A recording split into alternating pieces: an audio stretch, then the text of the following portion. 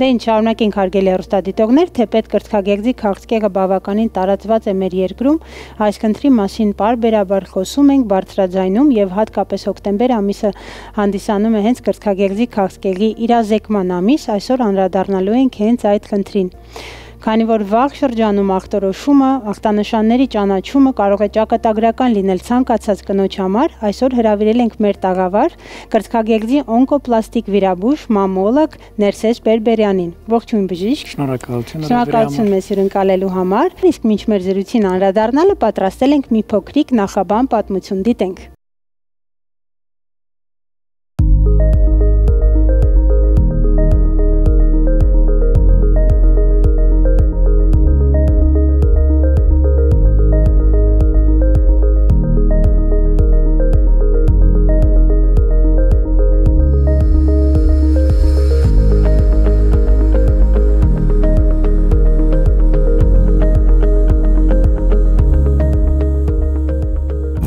Վարդանանց բժշկական կենտրոնը հագեցած է մամոգրաֆիայի նորագույն սարքավորումով, որն ունի ցածր ճառագայթային ինդեքս, կոնտրաստային մամոգրաֆիայի, երաչափ շերտավոր պատկերներ տալու եւ ստերեոտակտիկ բիոպսիայի հնարավորություն։ Սարքն ունի նաեւ հատուկ վահանակ, որը բուժարոին հնարավորություն է տալիս կարգավորելու սեղման աստիճանը հետազոտությունը դարձնելով հնարավորինս անցավ։ Կենտրոնն ունի նաեւ սոնոգրաֆիայի ժամանակակից սարք, որը մամոգրաֆիայի լրացուցիչ հետազոտության կամ երիտասարդ կանանց համար որպես հիմնական հետազոտության միջոց է։ Հետազոտության ընթացքը կենտրոնացված է մեկ տեղում, ինչն ավելի հարմար եւ արագ է դարձնում այն։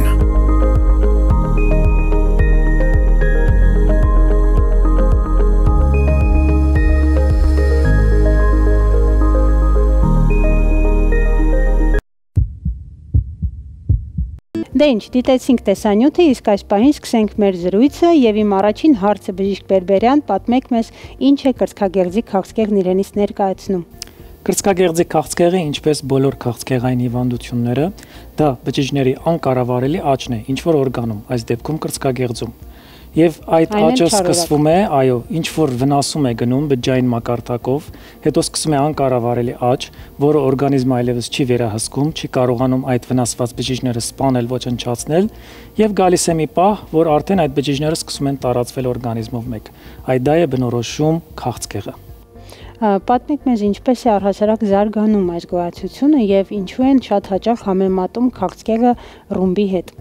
կրծքագեղձի քաղցկեղը զարգանում է կրծքագեղձի բլթակներում կամ ծորաններում էպիտելից։ Սկսվում է որպես եզակի բջիջներ, հետո կամած-կամած բազմանում է եւ գալիս է մի պահ, որ արդեն դառնում է շոշափելի։ Ինչու համար ենք ասում այն ռումբ է, որովհետեւ առաջին փուլերում, առաջին, երկրորդ, կինը դեռևս չի չի զգում, չգիտի որ ունի քաղցկեղ եւ նոր սկսում է այն շոշափել, երբ որ հնարավոր է արդեն 3-րդ կամ նույնիսկ 4-րդ մետաստատիկ փուլում է։ Հետևաբար, երբ որ կինը արդեն իմանում է, որ ունի քաղցկեղ, շոշափելով, հնարավոր է եւ արդեն դա անբուժելի փուլում է։ Դրա համար ենք մենք այն անվանում ռումբ։ Որ փուլից կարելի է հասկանալ, parzել կամ ախտորոշել քաղցկեղը։ Եթե խոսքը գնում է շոշափման մասին, ապա կախված կնոջ ֆիզիկական տվյալներից նիհար է կամ ոչ, կրծքագեղձի չափսից, տեղակայումից, արդյոք այն մակերեսային է տեղակայված թե խորը, մենք կարող ենք տարբեր փուլերում իրեն ախտորոշել։ Հաճախ ավելի մեծ կրծքագեղձով կանանց դեպքում եւ խորանից տեղակայման քաղցկեղների դեպքում հնարավոր է 3-րդ կամ 4-րդ փուլում իրեն նոր շոշափել։ Ահա, փաստորեն ամենավաղ փուլից առաջին իսկ հա փուլից ստադիայից կարելի է ախտորոշել, եթե հաճախել համապատասխան հետազոտությունների։ Այսօր մենք այնպիսի զարգացած մամոգրաֆիկ սարքավորումներ ունենք, որոնք ունակ են նույնիսկ նախաքաղց քաղցկեղային փուլում կանխազգալ կրծքագեղձի քաղցկեղի զարգացումը։ Բնականաբար այդ վաղ առաջին փուլերում միայն մամոգրաֆիայով է հնարավոր հայտնաբերել ուռուցքը, դրա համար էլ մամոգրաֆիկ հետազոտությունը համարվում է ոսկե ստանդարտ կրծքագեղձի սկրինինգի համար։ Սոնոգրաֆիան հաճախ կարող է եւ այդ փոքր չափսի ուռուցքը բաց թողել եւ այն չի համարվում սկրինինգային հետազոտություն։ Այ մինչեւ ախտորոշիչ դիագնոստիկ մեթոդներին անցնելը կուզենայի հարցնել արդյոք կան հայտնի են պատճառները ինչու է քաղցկեղը զարգանում։ Հստակ պատճառներ չկան։ Մենք գիտենք, որ կրծքագեղձի քաղցկեղի մոտ 20%-ը ունի ժառանգական նախատրամադրվածություն։ Գոյություն ունեն գենային մուտացիաներ BRCA1 եւ 2, որոնք պատասխանատու են կրծքագեղձի եւ ձվարանների քաղցկեղին։ Իսկ մնացած 80% դեպքերում կրծքագեղձի քաղցկեղը զարգանում է որպես առանձին առաջին անգամի հայտ եկած հիվանդություն, Բնականաբար մեր մտնոլորտի, մեր սնունդի բոլոր այս վնասակար նյութերը, որոնք մենք շնչում ենք, որոնց ազդեցության տակ ենք, ստրեսը, ճարպակալումը համարվում է նա ռիսկի ֆակտոր, որովհետև ճարպային հյուսվածքը արտադրում է էստրոգեն, որը վնասակար հորմոն է համարվում կրծքագեղձի վրա։ Դե ինչ, խոսենք բժիշկ Բերբերյան նախանշաններից, որ փուլում են սովորաբար կանայք դիմում, հետո իհարկե կանրադառնանք, երբ պետք է իրականում դիմենք։ Խնդրեմ նախանշանները։ Նշեմ այն կլասիկ ախտանիշները, որոնք վերաբերվում են կրծքագեղձի քաղցկեղին։ Լիմոնի կեղևը հիշեցնող մաշկի փոփոխությունը, պտուկի ներքաշվածությունը, պտուկի ծառունային արտադրությունը, պտուկի եւ արեոլայի վրա կեղևային վերքային մակերեսի առաջացումը, կրծքագեղձի մաշկի վրա սահմանափակ կամ տարածուն կարմրությունը եւ կրծքագեղձում կամ թևատակում շոշափվող գոյացությունը։ Բոլոր այս ախտանիշների դեպքում անհապաղ պետք է դիմել մասնագետի, բայց պետք է մի շատ կարևոր բան հիշել Այս ախտանիշները միշտ չէ որ առաջին փուլում են հայտնաբերվում, ընդհակառակը հնարավոր է եւ արդեն ուշացած երրորդ կամ նույնիսկ չորրորդ փուլում հայտնաբերվեն։ Պետք չէ դնել մեր հույսը ախտանիշների վրա եւ պետք է բարբերաբար հետազոտվել։ Եվ ուզում եի իհարկե այդ հարցը ձեզ տալ, բժիշկ Բերբերյան, շատերը այդ համոզմունքը ունեն, որ արտերկրում, եվրոպական երկրներում, Ամերիկայի Միացյալ Նահանգներում շատ ավելի վաղ են, ախտորոշումը շատ ավելի լավ են կատարում։ Այ կուզենայի իմանալ, արդյոք մեր երկիրը համընթաց շարժվում է եւ վստահ եմ հարցս տալուց, որ պատասխանը դրական է լինելու եւ մասնավորապես կլինիկան, որտեղ դուք եք աշխատում, ինչ այ հաջորդականություն ունի վաղ ախտորոշման։ Այո, ուրախ եմ բոլորին հայտարարելու եւ տեղեկացնելու, որ այսօր մեր հանրապետությունում մենք ունենք լավագույն սարքավորումները։ Երաշերտ, շերտավոր թվային մամոգրաֆի սարքը, որը նույնիսկ ամենափոքր փոփոխությունները նույնիսկ նախաքաղցկեղային վիճակում կարող է կանխազգալ կոնտրաստային մամոգրաֆիայի հնարավորությունը փոքր ուռուցքի հայտնաբերման դեպքում ստերեոտակտիկ բիոպսիայի հնարավորությունը, երբ որ սար, սարքը ինքը մեզ օգնում է, որպեսզի կարողանանք նմուշը վերցնել միլիմետրային միկրոմիլիմետրային ճշգրտությամբ բնականաբար սոնոգրաֆիկ հետազոտությունը որպես օժանդակ միջամտություն եւ վակուումային բիոպսիան, որը մեզ օգնում է այդ փոքր փոփոխություններից բավականին հավաստի նմուշներ ստանալ։ Այնպես որ շղթան հետազոտման ամբողջովին փակ է բարձրակարգ մակարդակի իրականացվում բիոպսիայի լավագույն միջամտությունները անում ենք տեղային անզգայացման տակ համարյա անցավ շատ արագ նույն տեղում կինը պարտավոր չէ այստեղից այնտեղ գնալու, երբ որ ախտորոշվում է իր մոտ խնդիրը, նույն տեղում մենք այդ ամեն ինչը որպես փակ շղթա իրականացնում ենք եւ տալիս ենք հավաստի ախտորոշում, որը ճիշտ բուժման սկիզբն է միանշանակ ու հիմքը։ Բժիշկ Բերբերյան, ես գիտեմ, որ դուք Վարդանանց նորական բժշկական կենտրոնում ունեք հատուկ մշակված ալգորիթմ, կուզենայի այդ հաջորդականությունը եւս ասեք։ Քանի որ Վարդանանց նորական բժշկական կենտրոնում կա կանանց խումբ, հատկապես 40-անց կանանց, եթե չսխալվեմ, մոտավորապես մի 20000 բազակա, այո, բուժարների։ Բազակա, եւ մենք մշակել ենք հետեւյալ ալգորիթմը։ Մինչև 20 տարեկան, մինչև 40 տարեկան կանայք 20 տարեկանից սկսած ենթակա են բարբերաբար սոնոգրաֆիկ հետազոտությունների, անկախ ախտանիշներից։ Այո։ Իսկ 40-անց մեկ Այո, մեկ կամ երկուս, եթե խնդիրներ կան, գանգատներ կան կամ գեղձը ունի տարբեր տիպի փոփոխություններ, ապա նույնիսկ 6 ամիսը մեկ։ Իսկ 40 տարեկանից սկսած արդեն մեր կանանց ուղղորդում ենք դեպի, այսպես ասած, ներքին սկրինինգային ծրագիր։ Ահա։ Եվ արդեն համարյա 1 տարի է եւ ուրախություն մեզ բավականին առաջնային դեպքեր ենք հայտնաբերել շատ վաղ փուլում մի քանի միլիմետրանոց ուռուցքներ եւ պետք է հիշեցնել, որ այս փուլում հայտնաբերված քաղցկեղը շատ հեշտ է բուժվում, հաճախ կինը խուսափում է քիմիոթերապիայից, ընդամենը փոքրիկ վիրահատություն կրծքագեղձի պահպանմամբ եւ ֆինանսական ոչ մի ծանրաբեռնվածություն չի լինում։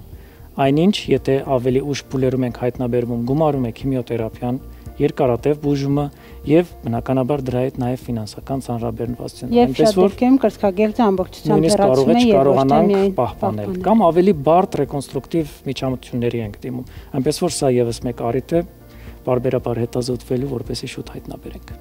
Շատ լավ, կուզենայի հարցնել իհարկե բուժական միջամտություններից, առհասարական ինչ որ դեղամիջոցներ, որ եւս կիրառվում են, թե դրանք միայն ռադիկալ ու վիրահատական միջամտություններ են, եւ առհասարակ դուք ինչ եք անում իրազեկելու եւ հսկելու, կա շարունակական հսկողություն նման պացիենտների։ Այո յուրաքանչյուր կրծքագեղձի քաղցկեղի դեպք ունի յուրահատուկ մոտեցում։ Մի քանի մասնագետներ հավաքվում ենք եւ այդ դեպքը մանրամասն քննարկելուց հետո մշակվում է անհատական մարտավարություն։ Ընդհանրապես քաղցկեղի բուժումը ունի 3 հիմնական ճյուղ։ Դա դեղորայքային բուժումն է, ժողովրդի մեջ ավելի տարածված է քիմիա, քիմիաթերապիա, բայց իրականում տարբեր դեղորայքներ են եւ հիմակվա քիմիան կամ դեղորայքային բուժումը լրիվ տարբեր է այդ առաջվա քիմիաներից։ Ի նկատի ունենք այդ տոքսիկության, կողմնակի էֆեկտների առումով, այո, լավ են հիմիկվա դեղերը։ Երկրորդը վիրահատական միջամտությունն է, երրորդը ճարագայթային բուժումն է։ Դեղորայքային բուժումը մի քանի տեսակների են՝ կլասիկ քիմիոթերապիաներ, հակահորմոնալ բուժում, իմունոթերապիա, target թերապիա, որը հրաշքներ է գործում, հատկապես մենք կրծքագեղձի քաղցկեղի մեկ տեսակ ունենք, հերդրական տեսակը, որը բավականին ագրեսիվ է ու շատ հաճախ երիտասարդ կանանց մոտ է հայտնաբերվում, եթե նա չստանա իր հատուկ այդ target թերապիան, հերցեպտինը, ապա նա պրակտիկորեն շանս չունի բուժվելու եւ ուրախություն մեզ պետությունը այսօր դա տրամադրում է որպես ծրագիր, պետական ծրագիր բավականին տանգարժեք դեղ, բայց եթե կինը մետաստատիկ չէ եւս մեկ վերադառնում ենք այն փաստին, որ պետք է շուտ հայտնաբերել, այո, այնպես որ պետք է ամեն ինչ անել, որպեսզի ուշացած փուլերում չընկնենք։ Շատ լավ, շնորհակալ եմ Բժիշկ Բերբերյան, շատ հետաքրքիր ինֆորմացիայի համար։ Ես գիտեմ, որ դուք եւս բազմ մինչս ծրագրեր, իրազեկման վիդեոներ, տեսանյութեր շատ եք հրապարակում, մենք կլինիկայում եւս Վարդանանցում շատ հաճախ են այդ մասին իրազեկում, որ անհրաժեշտ է գալ ստուգման, չմոռանալ տարեկան բույս զնումը, անգամ եթե գանգատ չունենք։ Եվ այսօր խոսեցինք пастоրեն այն մասին, որ հատկապես եթե գանգատ չկա, պետք է այնպես անել, որ ստուգումները չուշացնենք։ Մեկ լոզունգ մամոգրաֆիան դա առողջ կնոջ հետազոտություն է, եւ մամոգրաֆիան կարող է դառնալ կյանք բրկող հետազոտություն։ Դե ինչ, բժիշկ Բերբերյան, ուզում եմ պարտադիր նաև հարցնել, իհարկե խոսեցինք այն մասին, ինչքան կարևոր է վաղաժամ ախտորոշումը, բայց եթե այնուամենայնիվ չի հաջողվել եւ կրծքագեղձի վիրահատական միջամտության փերացում է կատարվել, կուզենայի պատմեք նաև այս փուլերի մասին, ինչ վիրահատություններ է սպասվում կնոջը եւ արդյոք դա բնականաբար եւ իր հոգեվիճակի վրա շատ է ազդում, ինչ է առաջարկում ժամանակակից բժշկությունը եւ պլաստիկ վիրաբուժությունը։ Բնականաբար կանանց ամենամեծ վախը դա այն է, որ կրծքագեղձի քաղցկեղի դեպքում պետք է կորցնի կուրծքը։ Բայց այդպես չէ։ Եվ մեր պրակտիկայում համարյա դեպքերի 80%-ը մեզ հնարավոր է ինչ որ ձևով պահպանել կրծքագեղձի։ Եվ այդտեղից էլ գալիս է իմ մասնագիտությունը, որը օնկոպլաստիկան է։ Այսինքն մենք զուգակցում ենք ուռուցկաբանական վիրահատությունները պլաստիկ միջամտությունների եւ պլաստիկ հմտությունների հետ։ Օգտագործում ենք այդ կտրվածքները եւ այնպես ենք տեղադրում կրծքի վրա, որպեսի հնարավոր լինի ուռուցքը հեռացնել եւ պահպանել կրծքագեղձը։ Բայց կա դրա համար շատ կարևոր նախապայման։ Պետք է ուռուցքը հնարավորինս փոքր լինի։ Եթե ուռուցքը մեծ է չափերով, փորձում ենք քիմիոթերապիայի միջոցով փոքրացնել, հետո իրականացնել այդ միջամտությունները։ Նաև պետք է խոսել թևատակի վիրահատության մասին, որը շատ կարևոր է, եւ նորագույն մեթոդիկան մեզ թույլ է տալիս հայտնաբերել հենց առաջին շղթայի հանգույցները, հեռացնել այդ հանգույցները եւ ստուգել եւ եթե դրանք մաքուր են, ապա չխորանալ թևատակում, որը նաեւ բերում է իր հետ իր բարդություններին, ձերքի այդուտ, ձերքի շարժունակության դժվարացում, ցավեր, այնպես որ ամեն ինչ արված է, որպեսի կինը չգնա դեպի հաշմանդամություն։ Շատ լավ, շնորհակալ եմ։ Եթե որևէ հղում եւ խոսք ունեք ասել մեր բուժառուներին, ապա անպայման հնչեցնենք։ Կրծքագեղձի քաղցկեղը դա վճիր չէ, այլ ընդհանրեն ախտորոշում եւ կրծքագեղձի մամոգրաֆիկ հետազոտությունը դա առողջ կնոջ հետազոտություն է եւ եթե կինը արդեն ունի կրծքագեղձի քաղցկեղ, ապա արդեն པարզ է ամեն ինչ։ Եվ մամոգրաֆիկ հետազոտությունը այ դառնում է կյանք փրկող հետազոտություն, երբ որ այն իրականացնում ենք առողջ կանանց դեպքում։ Շնորհակալ եմ շատ մեզ հյուրընկալելու համար։ Շեցնեմ, որ մեր հյուրը այսօր Վարդանանց նորարարական բժշկական կենտրոնի մամոլոգիայի ծառայության ղեկավար, կրծքագեղձի օնկոպլաստիկ վիրաբույժ Ներսես Բերբերյանն էր։ Իսկ այժմ տեղափոխվենք խորհուրդներ ծնողի մեջ։